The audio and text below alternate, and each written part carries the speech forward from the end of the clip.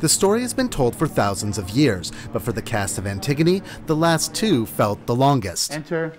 So this is my first play at COC. Okay. Because I'm whiny.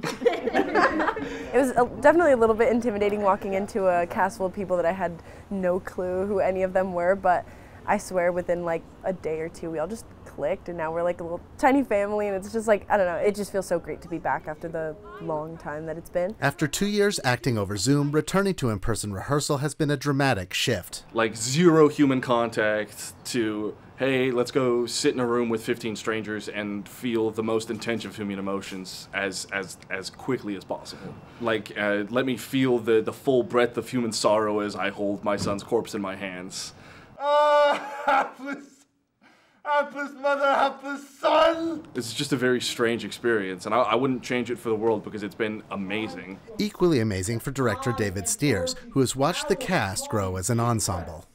In the last couple of rehearsals, there have been wonderful moments that uh, both the actor uh, and people watching are saying, "Ah, there it is. That's that's the moment." Oh, Why all your speech this day is spent for her? For you!